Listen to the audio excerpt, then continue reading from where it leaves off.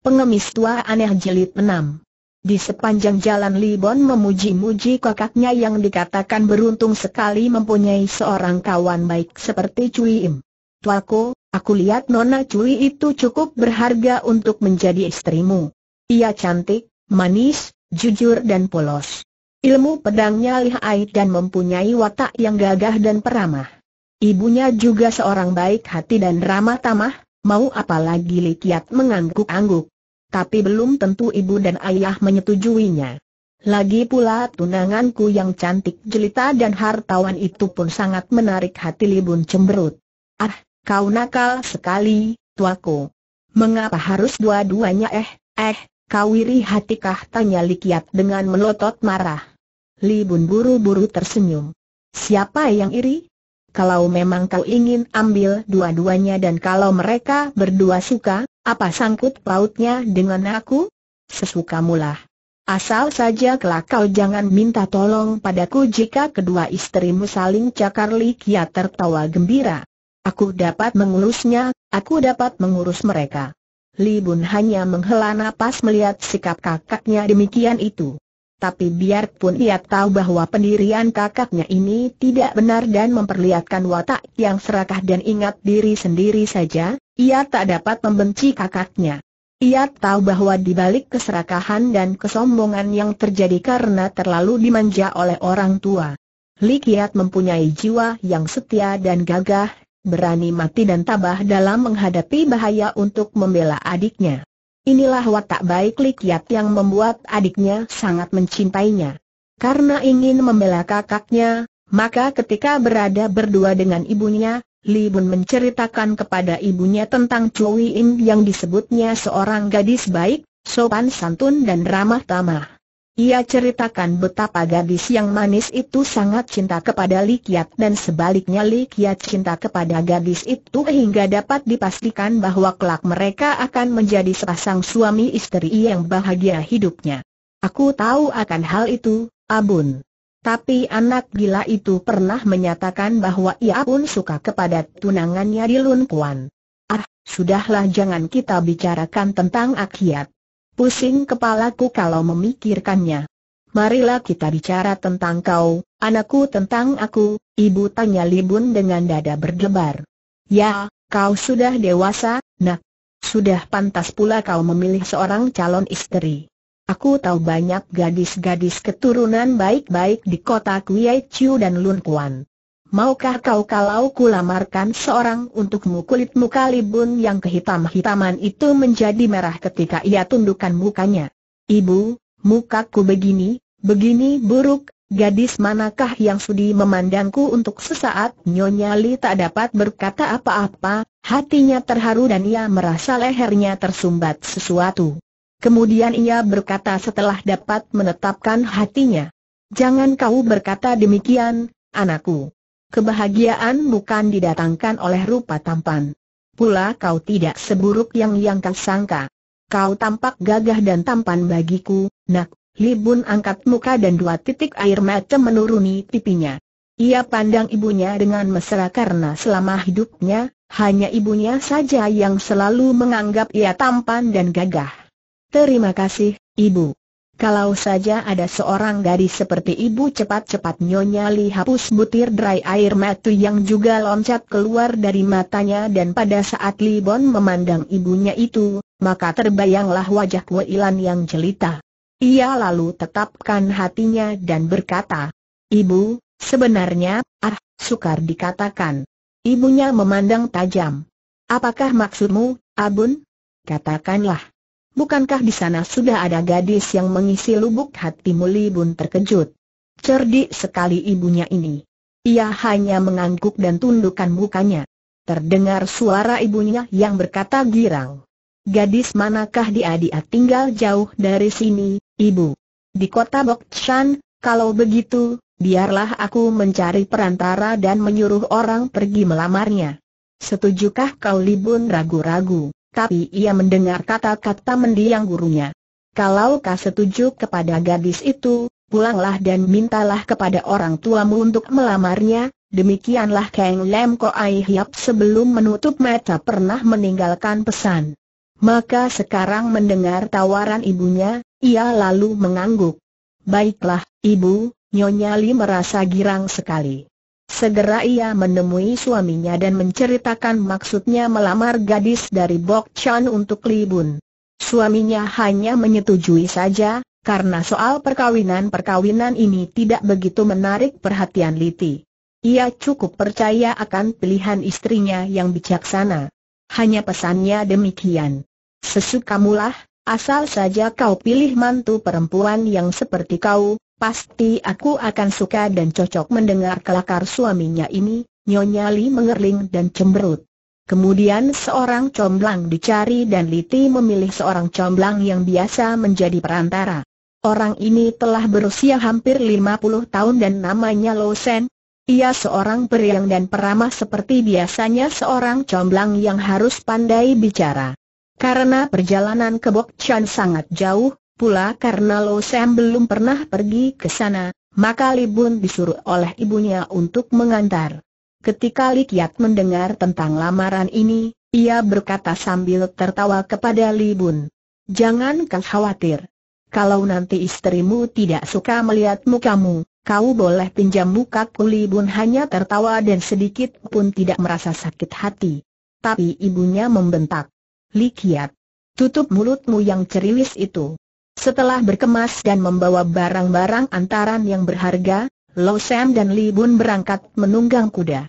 Karena Lo Sam pandai bicara dan selalu riang gembira maka Li Bun merasa suka dan perjalanan itu dilakukan dalam suasana gembira.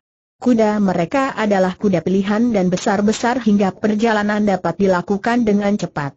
Lima hari kemudian mereka masuk ke dalam sebuah hutan yang sangat besar dan penuh pohon-pohon raksasa. Melihat keadaan hutan ini, Lo Sam berkata, Ah, jangan-jangan di dalamnya ada setan, Li Bun tertawa. Lepeh, di mana ada setan muncul di siang hari setan siang itulah yang lebih berbahaya daripada setan malam, kata Lo Sam ketika mereka melanjutkan perjalanan mereka. Apakah setan yang kau maksud itu sudahlah, jangan kita bicarakan mereka di sini. Nanti saja kalau kita sudah keluar dengan selamat dari hutan ini, ku terangkan padamu, jawab Losen. Ketika mereka tiba di tengah-tengah hutan, tiba-tiba dari pinggir melayang sebatang anak panah yang menancap di batang pohon besar di depan mereka. Nah, nah, celakalah kita. Setan siang benar-benar muncul kata Lo Sam sambil mendekam di atas kudanya dengan tubuh gemetar. Oh, jadi kau maksudkan setan siang itu golongan perampok pada saat itu dari kanan kiri berlompatan keluar orang-orang tinggi besar yang kesemuanya memegang golok telanjang. Wajah mereka semua bengis-bengis dan yang mengepalai mereka adalah seorang tinggi besar yang tampaknya kuat sekali serta bersenjata sepasang ruyung besi yang besar dan berat. Hayo kalian berdua turun dari kuda dan tinggalkan semua barang bawaanmu bentak kepala rampok itu. Menggigilah seluruh tubuh Losem dan ia segera membaca Liam Keng penolak Stan. Mendengar ini, kepala rampok itu membentak. Hei, kau orang tua. Lekas turun Losem menjadi pucat dan ia berkata gagap. Tet, tet, tetapi tanda seru tidak ada tapi, hayo lekas turun dan tinggalkan semua barang dan kuda. Ampun Tai Ong, tapi, ini, adalah, adalah barang mas kawin. Kepala rampok itu menjadi tidak sabar dan mengangkat ruyungnya hendak dipukulkan. Lo Sam tiba-tiba menjadi gesit, ketika ia lompat turun dari kudanya karena ketakutan. Ia lari ke arah Libun dan peluk pemuda itu sambil sembunyikan muka di belakang tubuh Libun. Libun lepaskan dirinya dan menghadapi kepala rampok itu kami adalah pelancong-pelancong bukan pedagang, maka harap saja Tai Ong suka maafkan dan lepaskan kami kepala rampok itu memandangnya dengan teliti, tapi karena ia belum kenal maka ia membentak.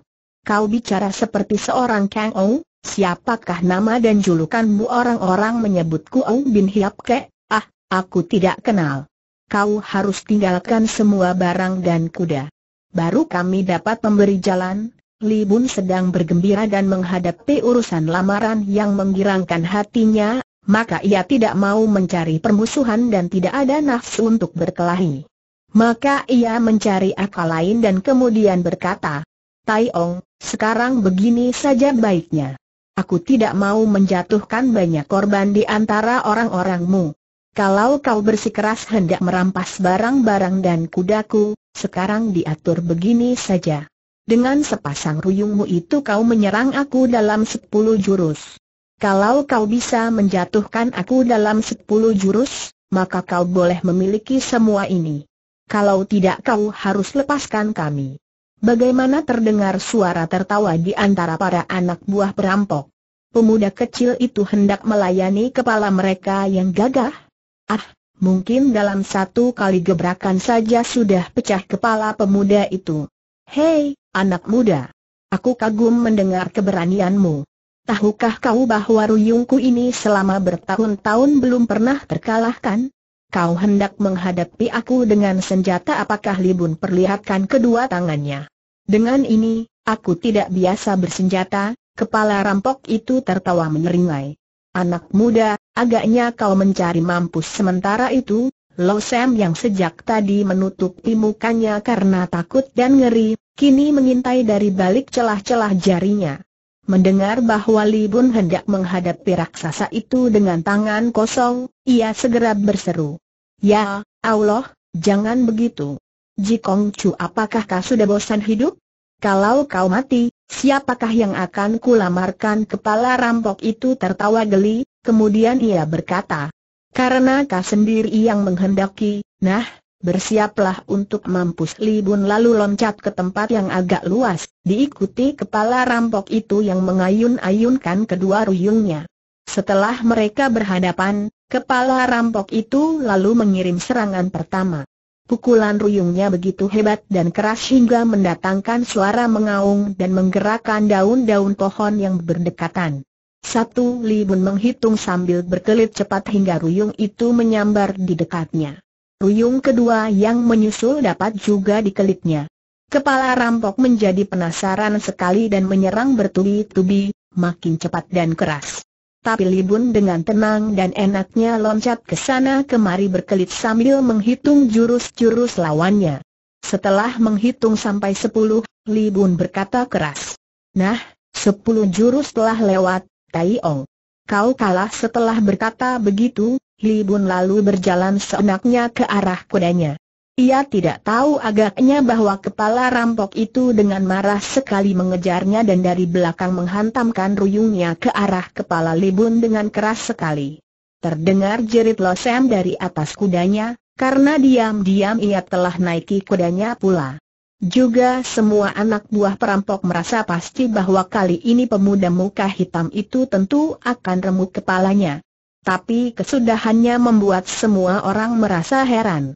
Dengan ringan dan lincah bagaikan seekor burung walet, Li Bun miringkan kepalanya dan geser kakinya hingga ruyung itu menyerempet di dekat tubuhnya, lalu sambil berkata kau curang ia gunakan jari tangannya menotok.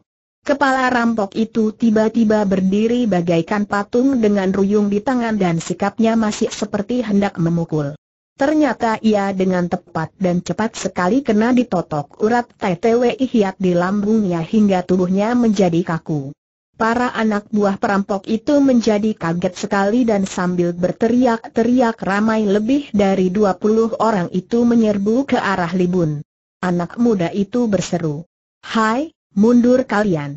Lihatlah, kalau ada yang berani menyerang, Pemimpinmu ini pasti binasa Libun mengambil ruyung dari tangan kepala rampok dan gunakan senjata itu untuk mengancam di atas kepala pemimpin rampok itu.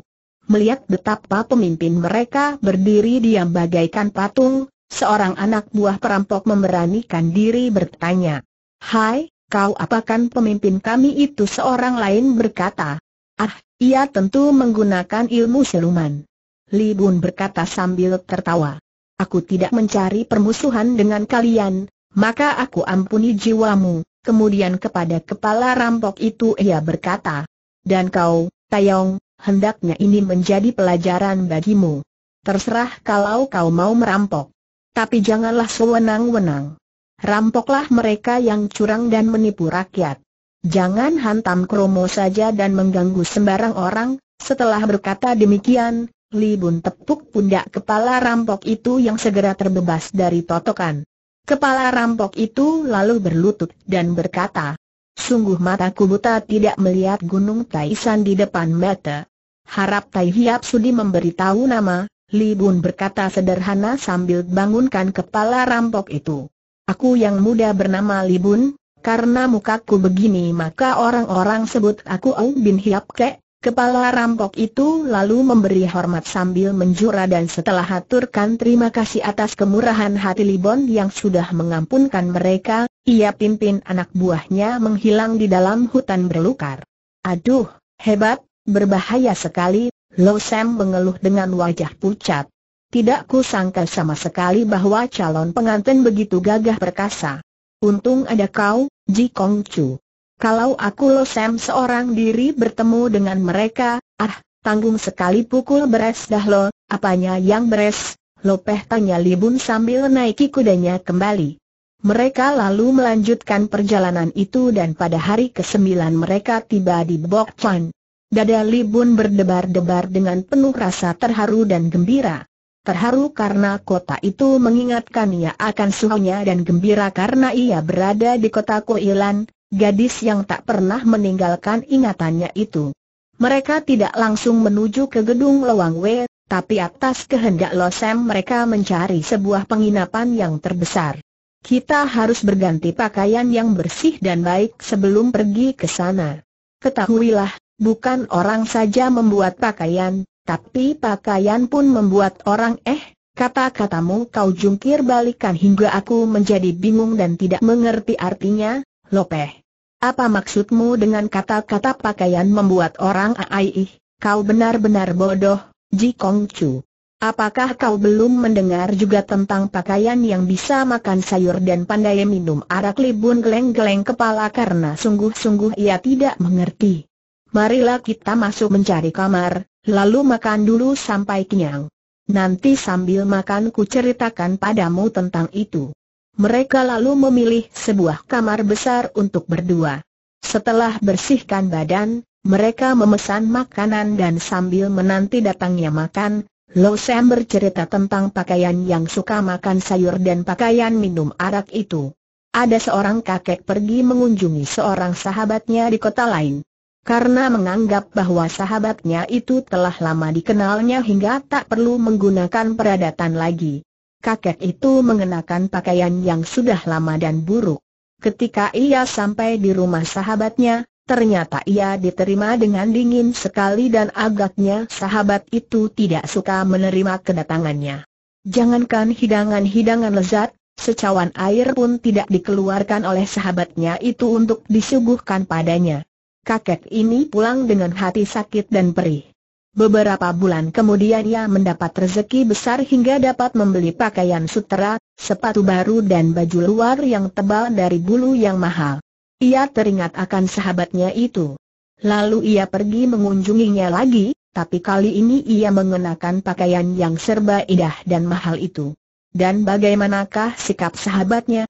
Ah, ia buru-buru menyambutnya, memberinya kursi terbesar dan cepat memanggil semua anaknya untuk memberi hormat kepada tamu agung ini. Lalu ia keluarkan hidangan-hidangan yang paling lezat dan dipersilahkan kakek itu makan. Kakek itu lalu tanggalkan baju luarnya yang indah, dan sambil pegang-pegang baju itu dengan tangan kirinya lalu mengambil sayur dalam mangkok. Lalu ia tuangkan sayur itu ke dalam saku baju sambil berkata dengan hormat sekali meniru-niru suara sahabatnya, silahkan saudara baju bulu yang terhormat makan sayur kemudian ia ambil pula secawan arak dan tuangkan arak itu ke dalam saku baju itu sambil berkata lagi. Silahkan saudara pakaian yang mahal minum arak tentu saja sahabatnya heran melihat kelakuan ini dan menegurnya. Maka dengan wajah bersungguh-sungguh kakek itu berkata kepada sahabatnya, Dulu ketika aku datang dalam pakaian buruk, jangankan sayur dan arak, air putih secawan pun tidak kau keluarkan. Sekarang aku datang dalam pakaian mewah dan indah, kau menyambutku begini hormat dan mengeluarkan sayur serta arak, maka bukankah yang kau jamu ini pakaianku dan bukan aku nah setelah berkata demikian, kakek yang telah puas menyindir dan membalas sakit hatinya itu lalu meninggalkan sahabatnya yang berdiri dengan wajah kemerah-merahan karena malu, Li Bun tersenyum dan kagum akan isi cerita yang tepat dan menggambarkan tabiat orang yang sebagian besar memang demikian. Jadi sekarang kita berpakaian indah agar mendapat hidangan lezat yang menggoda Lo Sam dan keduanya lalu tertawa girang. Hidangan yang dipesan tiba dan keduanya lalu makan minum dengan gembira karena menghadapi urusan baik. Lo Sam angkat cawan araknya dan minum arak dengan harapan agar urusan ini akan berhasil baik. Setelah makan, mereka lalu mengenakan pakaian-pakaian indah dan Lo Sam minta pemuda itu membawanya ke rumah keluarga Lo Wang Wei. Ketika mereka keluar dari rumah penginapan itu, dari luar datang tiga orang dan Libun terkejut sekali karena orang yang berjalan di tengah, seorang Hwasyo pendek gemuk, ternyata adalah Bok Bu Hwasyo, pertapa kosen yang dulu telah melukai suhunya dan karenanya menjadi pembunuh Kang Lam Ko Ai Hiap. Ia rasakan dadanya berdebar dan dendamnya timbul, tapi karena sedang menghadapi urusan besar, maka ia pura-pura tidak melihatnya dan melanjutkan perjalanan dengan Losen. Ia anggap bahwa urusan dengan Ilan jauh lebih besar daripada urusan dengan Bok Bu Hwasyo, dan bukankah suhunya memesan agar ia jangan mencari Bok Bu Hwasyo untuk menuntut balas? Maka ia segera melupakan Hwasyo itu dan dengan girang menuju ke rumah gedung tempat tinggal Kue Ilan.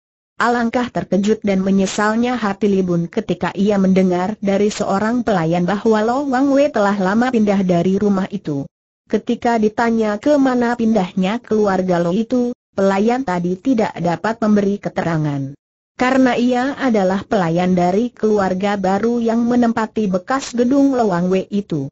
Lo Sam dan Li Bun setengah hari lamanya mencari tahu di seluruh kota kalau-kalau ada yang dapat menerangkan ke mana pindahnya Loang Wei. Tapi tidak ada orang yang dapat memberitahukan mereka. Dan mereka hanya mendengar bahwa keluarga Lo telah pindah lebih setahun yang lalu ke tempat yang jauh sekali, tapi entah ke mana. Malam hari itu Li Bun tinggalkan Lo Sam dan ia langsung menuju ke taman bunga di belakang gedung besar bekas tempat tinggal Pu Ilan dulu. Taman bunga itu masih seperti dulu, sedikit pun tidak berubah. Karena melihat di situ sunyi tidak ada orang, Li Bun lalu duduk di empang di mana dulu ia dan Kue Ilan duduk berdua sambil melihat lukisannya di atas kipas.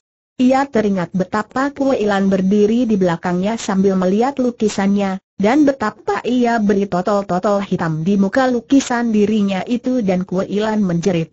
Ia heran dan sampai kini pun tidak tahu mengapa gadis itu menjerit ketika ia beri warna totol-totol hitam yang merusak mukanya itu. Apakah kipas itu masih dibawa oleh Kue Ilan? Li Bun duduk termenung di situ, tenggelam dalam lamunannya sendiri.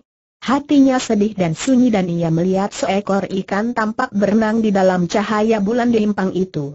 Hanya seekor di situ. Ah, sama benar dengan nasibnya.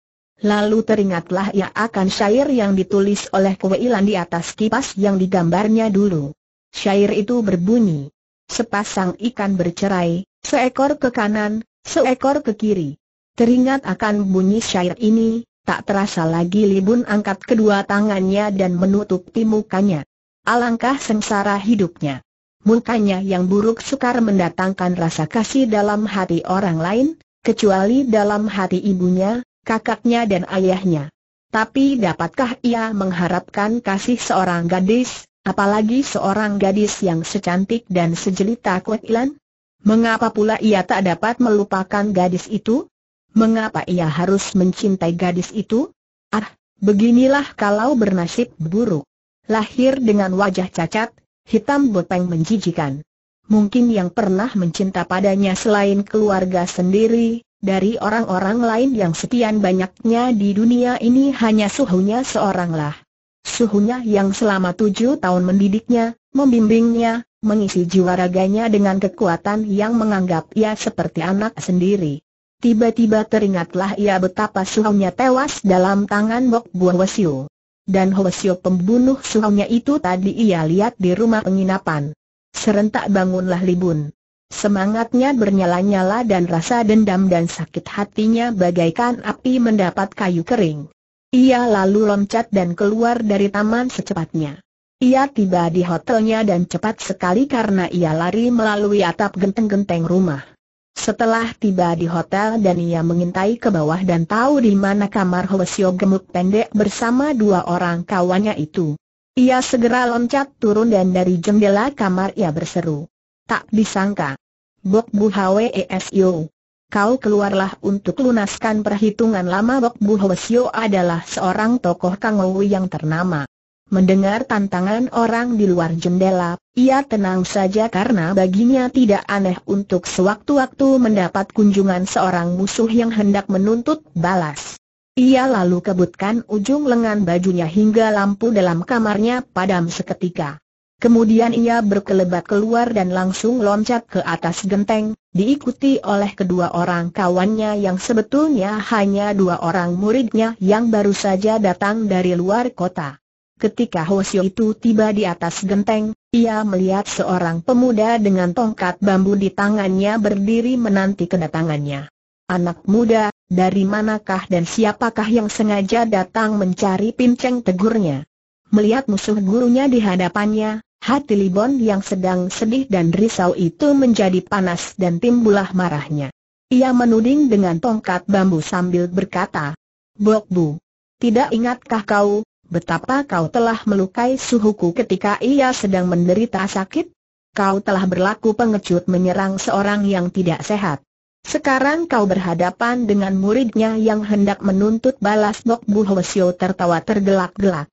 Anak muda, orang-orang yang telah kulukai dan kujatuhkan banyak sekali hingga aku sendiri pun tidak ingat lagi ada berapa banyak. Siapakah kau ini, dan siapakah gurumu yang telah kulukai itu suhuku ialah Kang Lem Ko Ai Hiap terkejutlah Bok Bu Hwasyo mendengar pengakuan ini. Ah, kalau benar anak muda ini murid Kang Lem Ko Ai Hiap, maka tidak boleh berlaku sembrono. Kalau kau hendak menuntut balas, mengapa tidak mencari aku di Tian saja? Di sana aku akan melayani tuntutanmu. Sekarang aku sedang sibuk Hwasyo gemuk pendek yang licik ini tahu dan ingat bahwa Libun adalah seorang yang berkepandaian tinggi dan barangkali tidak banyak bedanya dengan Kang Lem Ko Ai Hiap sendiri, maka berbahayalah melayaninya di sini. Kalau melayani di sarangnya, yakni di Tian Xiang, ia dapat mengharapkan bantuan dari kawan-kawannya. Hwasyo pengecut. Kau berani berbuat mengapa mundur menghadapi tanggung jawab? Kau terimalah pembalasanku Li Bun segera menyerang dengan tongkat bambunya. Baiklah, kalau kau sudah kepingin mampus jawab Bok Bu Hwasyo untuk tidak kalah garang dan ia segera menyempok dengan ujung lengan bajunya yang panjang. Pertempuran hebat terjadi di atas genteng rumah penginapan itu. Kedua murid Bok Bu Hwasyo cabut pedang mereka dan membantu Hwasyo itu. Tapi sebentar saja, mereka kena terpukul ujung tongkat bambu libun yang digerakkan dengan gemas hingga sangat ganas dan lihai. Tubuh kedua murid Bok Bu Hwasyo itu roboh dan membuat pecah banyak genteng. Bok Bu Hwasyo marah sekali dan ia berhasil memungut sebilah pedang muridnya yang telah dirobohkan.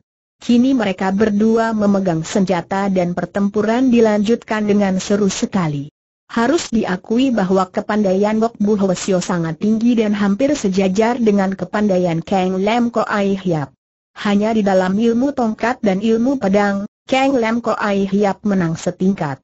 Dulu Kang Lem Ko Ai Hiap dapat dilukai karena kakek pengemis yang lihai itu sedang sakit dan tenaganya lemah. Kini menghadapi Libun, segera Bok Bu Hwasyo merasa bahwa pemuda ini lebih tangguh daripada Kang Lem Ko Ai Hiap sendiri.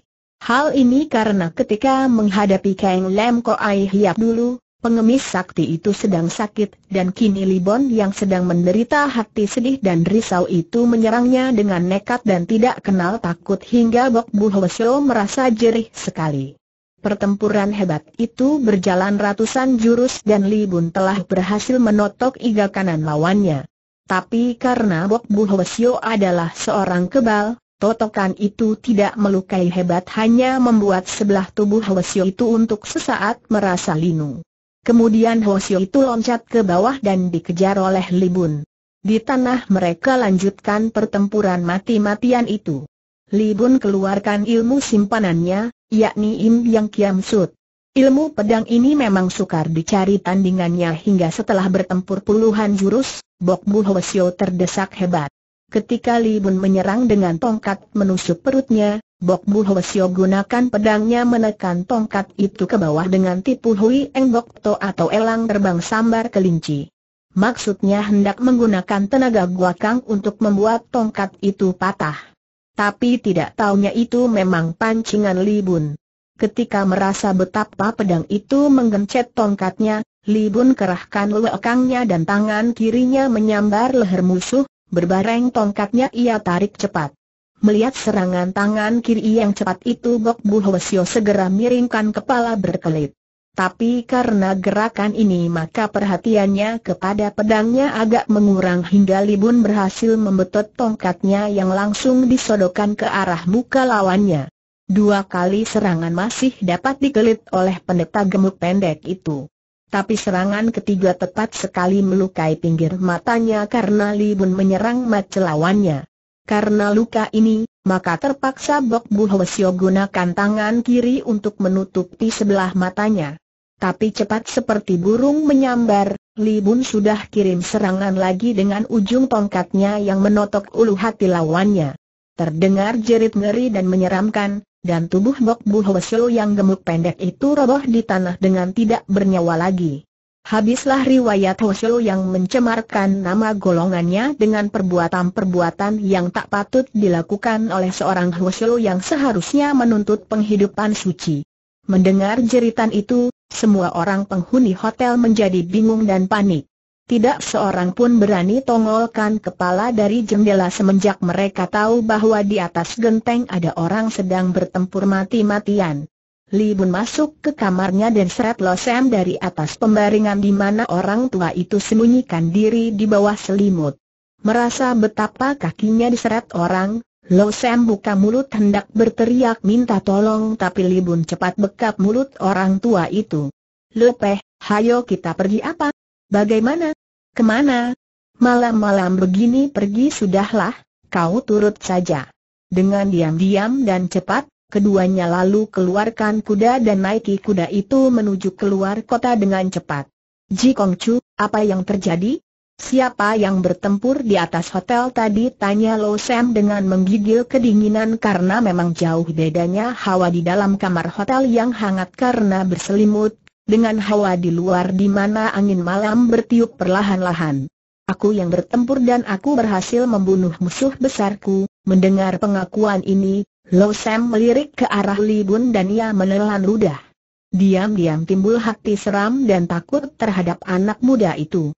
Ia tidak menyangka sama sekali bahwa pemuda yang hendak dipinangkan seorang gadis itu dapat membunuh orang dengan demikian enaknya.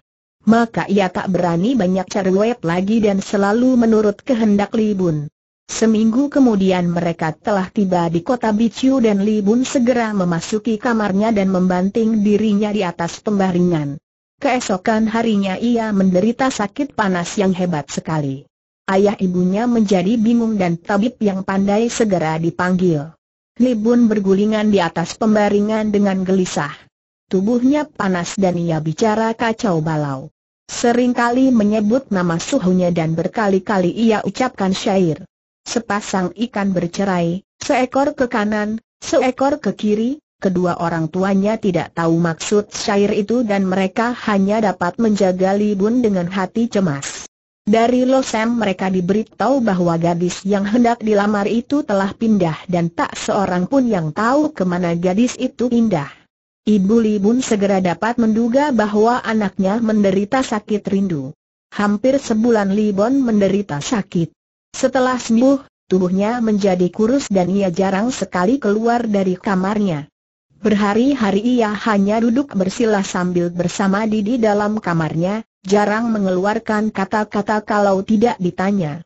Demikianlah keadaan pemuda yang sengsara itu sampai tiba musim Chan di mana orang-orang menyambutnya sebagaimana kebiasaan mereka setiap tahun. Rumah-rumah dihias dan dikapur dan orang-orang mengenakan pakaian serba baru. Rumah keluarga Li tidak ketinggalan. Terutama Li Kiat, ia gembira sekali dan mengenakan pakaiannya yang indah berwarna biru dan merah muda hingga ia tampak gagah.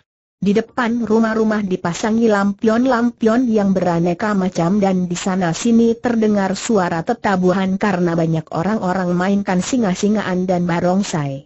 Seluruh kota Bicu tenggelam dalam pesta pora dan kegembiraan. Mungkin hanya Libun seorang yang duduk termenung di taman belakang sambil melihat ikan-ikan berenang ke sana kemari dalam empang. Bunga-bunga teratai warna merah dan putih tersenyum dengan manis berseri di atas air kehijau-hijauan. Orang-orang saling kunjung mengunjungi untuk mengucapkan selamat, satu kepada yang lain berhubung dengan datangnya musim terindah dan terbaik selama setahun. Likiat berlari-lari mencari adiknya di taman. Abun. Li Bun tanda seru teriaknya, dan ketika ia melihat Li Bun duduk termenung di pinggir empang, ia segera lari menghampiri. Li Bun, jangan kau termenung saja. Hari ini adalah hari baik dan ayah mengajak kita pergi mengunjungi rumah tunanganku. Kau harus ikut, Abun melihat kegembiraan kakaknya ini, Li Bun terpaksa senyum lemah. Untuk apakah aku harus ikut tanyanya halus? Matt Likia terbelalak. Untuk apa? Ampun, anak ini. Untuk apa, katanya. Bukankah ini hari besar dan kita harus mengucapkan selamat kepada orang-orang yang kita cinta?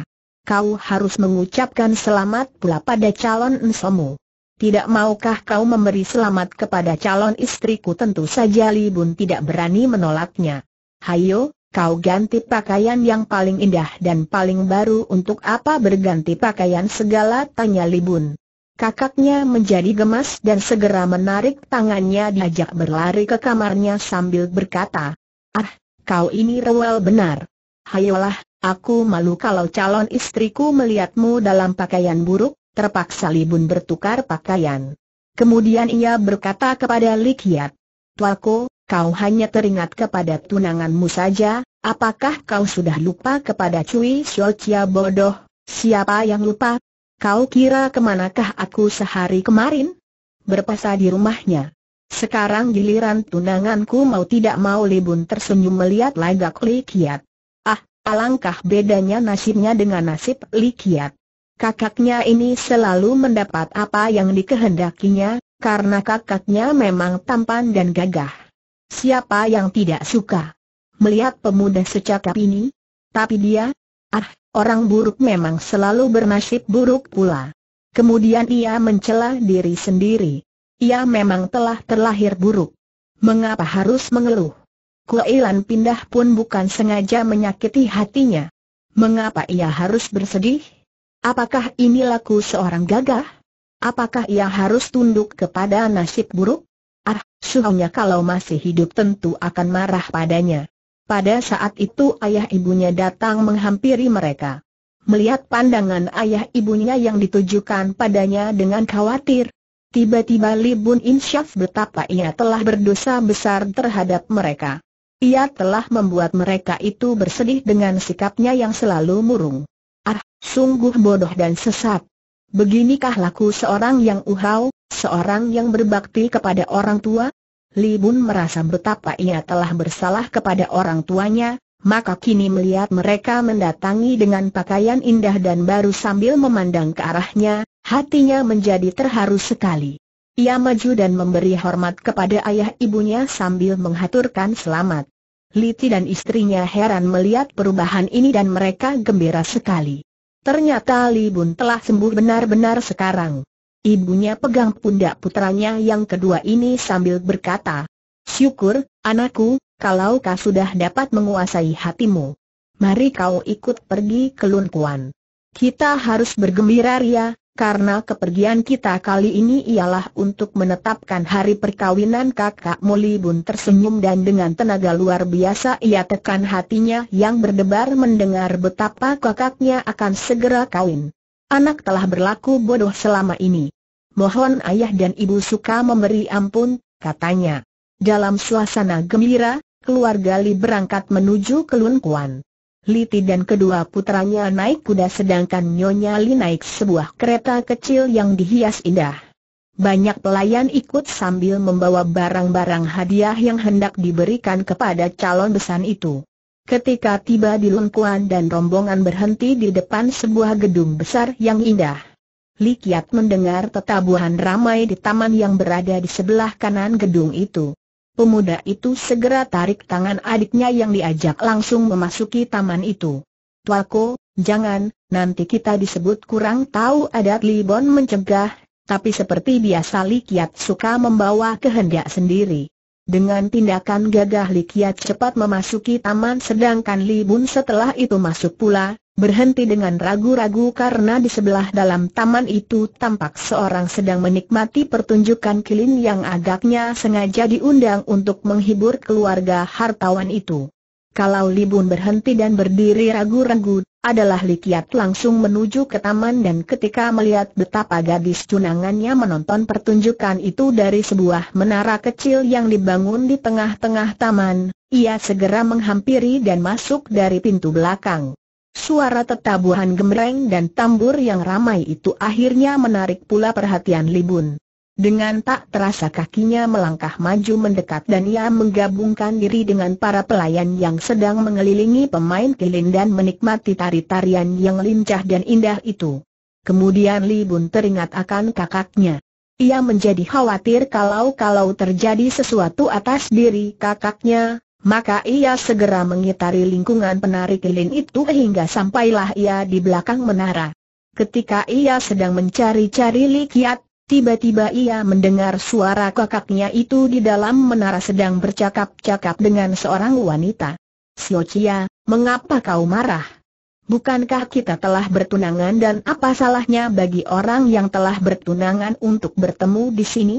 Ah, Sio Chia, kau cantik sekali dan perkenankanlah aku untuk mengucapkan selamat kepadamu. Kemudian terdengar jawaban seorang wanita, suaranya halus tapi tajam.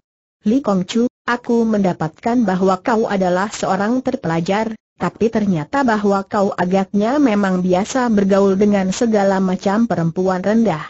Tapi kau ingatlah, aku belum menjadi istrimu dan kau tak berhak berlaku sesuka hatimu di tempatku ini. Kau keluarlah, tak pantas kalau sempat terlihat orang perbuatanmu yang tak pantas ini suara Likia terdengar marah dan penasaran ketika ia menjawab. Sio Chia, perbuatan mana yang tidak pantas kau masuk ke sini tanpa izin, seakan-akan ini tempatmu sendiri. Apakah itu pantas namanya? Pula, aku pun mendengar bahwa kau telah mempunyai tunangan. Mengapa kau masih hendak mencari aku? Apakah itu pun pantas namanya celaka? Pikir Libun ketika mendengar ini. Agaknya gadis ini pun sudah tahu akan hal hubungan Likiat dengan Cui Im. Nah, berabelah kini. Oh, jadi kau cemburu terdengar Li Kiat berkata. Aku? Cemburu? Hah? Peduli apakah aku, biarpun kau mempunyai kekasih puluhan orang? Hanya saja, aku tak sudi dipermainkan orang. Kau keluarlah dari sini Libun merasa betapa kakaknya harus keluar dari situ karena kalau sampai terdengar orang, akan mendapat malu besarlah keluarganya. Maka ia lalu masuk ke dalam pintu yang terpentang itu untuk memanggil kakaknya. Tuaku, mari keluar, katanya sambil membuka tirai. Dan pada saat itu ia melihat seorang gadis cantik jelita yang berdiri berhadapan dengan Likiat dan yang pada saat itu memandang ke arahnya. Baik Libun dan gadis itu berdiri kesima. Mat mereka terbelalak dan mereka saling pandang lama sekali. Tak terasa kaki Libun bertindak maju menghampiri dan tiba-tiba pada wajah gadis yang tadinya muram dan marah itu tampak senyum menghias bibirnya yang indah.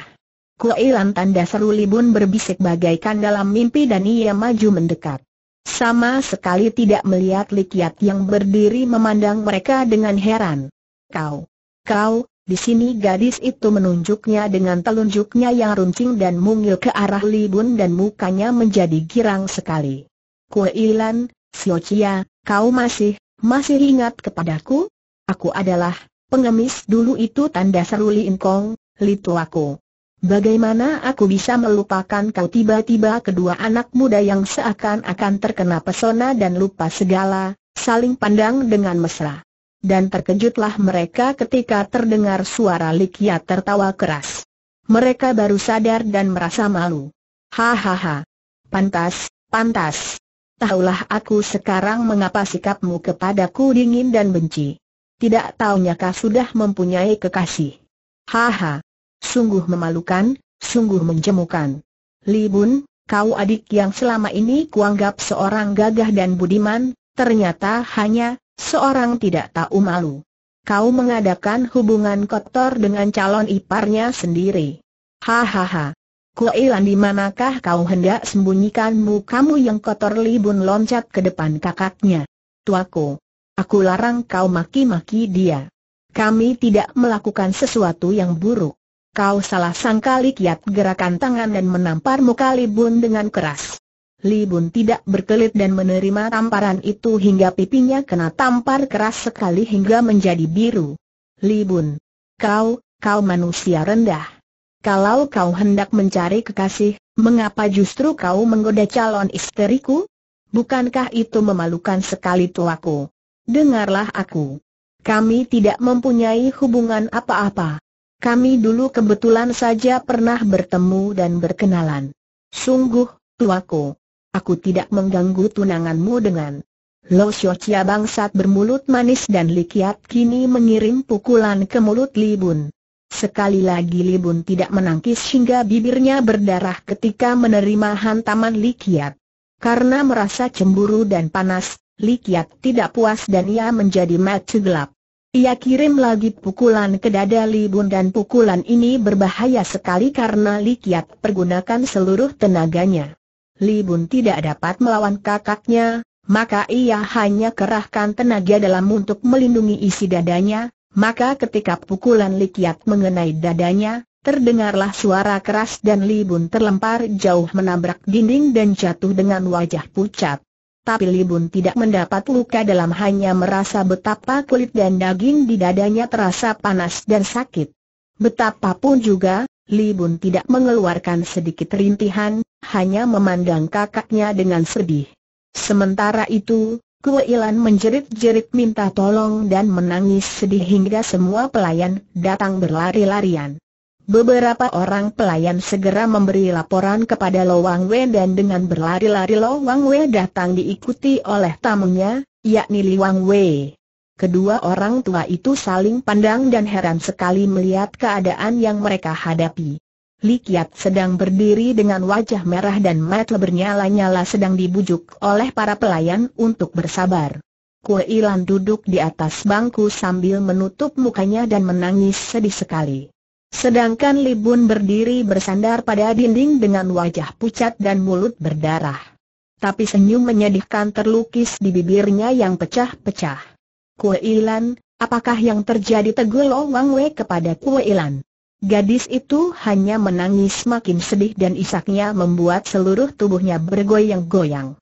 Kemudian dengan tiba-tiba gadis itu berdiri dan lari keluar dari situ memasuki gedung dan membanting dirinya di dalam pembaringan di kamarnya. Li Wang Wei membentak kedua putranya. Li Kiat. Li Bun. Apa yang kalian perbuat? Sungguh memalukan sekali.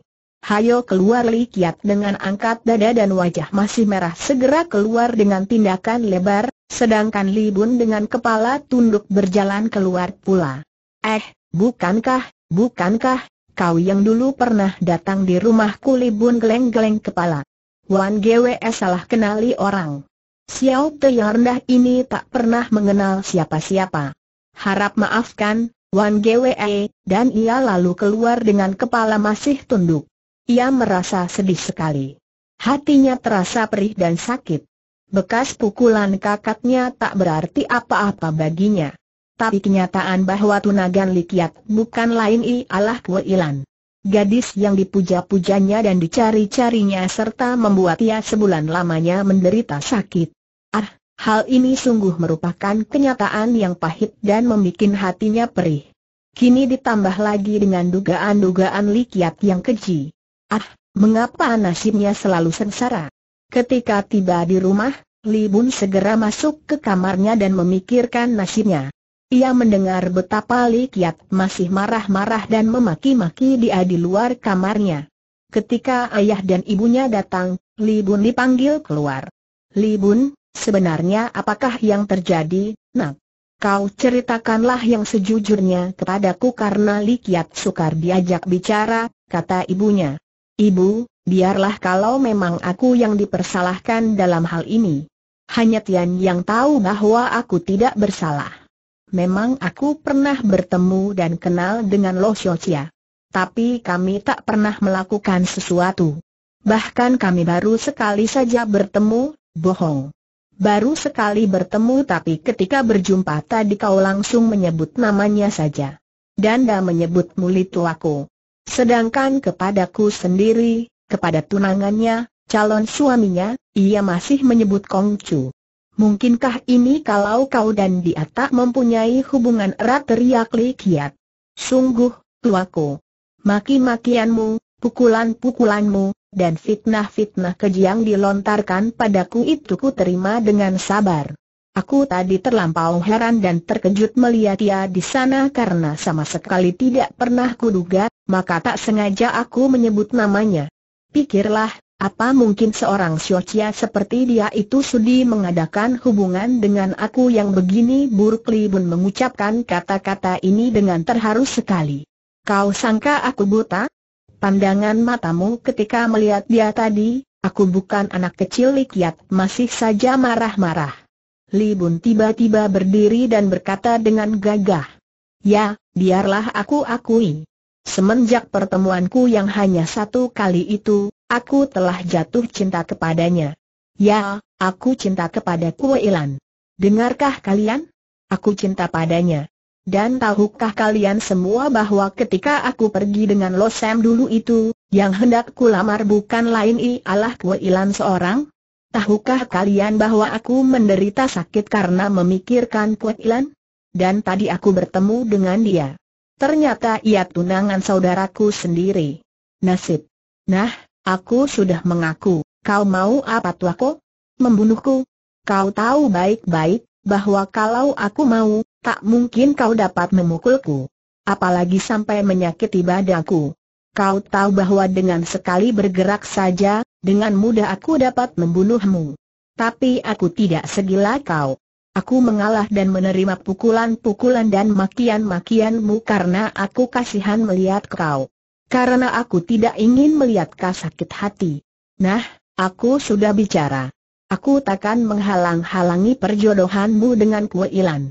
Tapi ingat, kalau kau sampai membuat dia sengsara atau kau menyia-nyiakan Kue Ilan, biarlah aku melanggar dosa terbesar dengan membunuh kakakku dengan kedua lengan tanganku sendiri Libun jerit ibunya.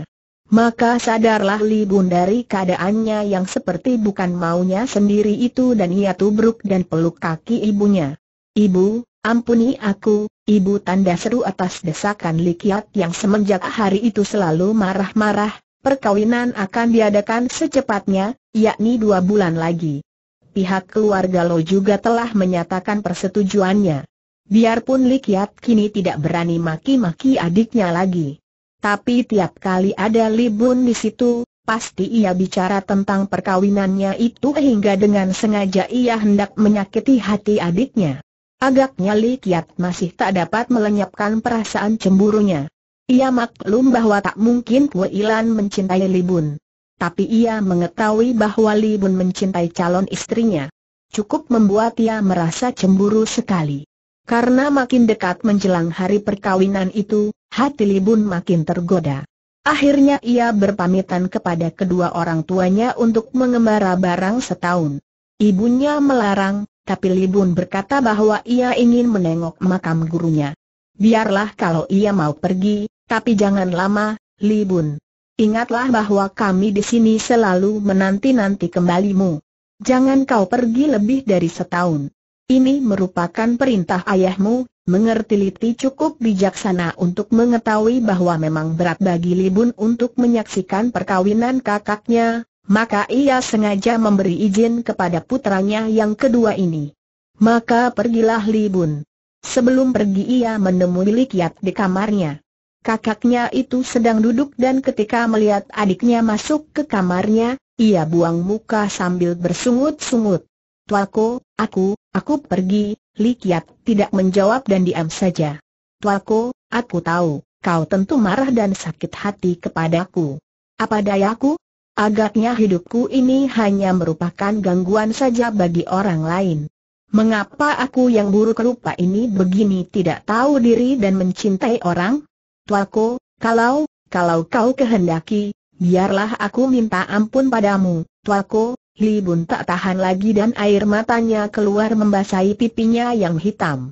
Kecintaan Raja Pencopet Likia terharu dan rasa sayangnya terhadap adiknya timbul. Tapi ketika ia memandang Li Bun, ia teringat pula betapa adiknya itu mendapat perhatian besar dari Kuilan, maka marahnya lebih kuat daripada rasa sayangnya. Sudahlah, sudahlah.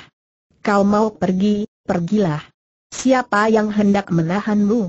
Tuaku, kau memaafkan aku sudahlah, jangan ulang-ulangi lagi hal itu. Li Kiat lalu banting diri di atas pembaringan sambil gunakan kedua tangan tutupi telinganya. Li Bun lalu tinggalkan kakaknya dan setelah berpamit kepada ayah ibunya, ia pergi dengan cepat. Keadaannya kini jauh berbeda daripada dulu ketika ia merantau bersama suhunya. Dulu ia hidup sebagai seorang pengemis. Tapi sekarang ibunya memaksa ia membawa cukup uang guna belanja selama ia merantau. Pakaiannya juga bagus dan di dalam bungkusan pakaian yang berada di punggungnya masih ada barang dua setel pakaian baru. Li Bon menuju ke timur karena ia ingin menjelajah sepanjang pantai laut timur yang terkenal indah. Untuk menghibur hatinya yang terluka, ia sengaja ambil jalan air dan naik perahu sepanjang sungai yang C menuju ke timur. Makin ke timur, sungai ini makin melebar dan pemandangan makin indah. Li Bon berlayar seorang diri dan membiarkan perahunya di bawah hanyut di pinggir sungai. Beberapa pekan kemudian, tibalah ia di Nanking, kota yang sangat besar dan menjadi pusat kebudayaan itu. Ia mendarat dan dengan penuh kagum di dalam hati. Ia berjalan sepanjang jalan yang lebar dan melihat-lihat rumah-rumah dan bangunan-bangunan dengan ukiran-ukiran indah. Ketika ia masuk ke dalam sebuah jalan yang ramai dan banyak sekali orang. Tiba-tiba di tempat yang agak berdesakan ia merasa betapa sebuah tangan dengan cepat sekali menyambar bungkusannya tapi lebih cepat lagi jari telunjuk Libun menyambar dan dapat menotok pergelangan tangan itu hingga pergelangan itu menjadi lumpuh dan bungkusan yang telah disambar itu dijatuhkan kembali. Libun segera pungut buntalan pakaiannya dan ia melihat wajah seorang setengah tua meringis kesakitan sambil memandangnya dengan heran. Kemudian copet itu lalu melarikan diri dengan cepat di dalam tempat yang ramai dan penuh sesak itu. Libun menghela napas. Ternyata tidak hanya rumah-rumah, jalan-jalan dan barang-barang yang istimewa di dalam kota besar ini. Bahkan tukang copetnya juga istimewa karena ia harus akui kelihayan tukang copet tadi yang sekali bergerak saja buntalan yang diikatkan di punggungnya telah kena disambar. Untung ia cepat dapat menggunakan totokan dengan satu jari, yakni ilmu totok Itchisian, untuk merampas kembali buntalannya. Kalau tidak, entah bagaimana kalau sampai pakaian dan uangnya semua hilang. Ia tersenyum geli kalau teringat betapa pencoleng itu lari sambil membawa luka di pergelangan tangannya karena totokannya itu.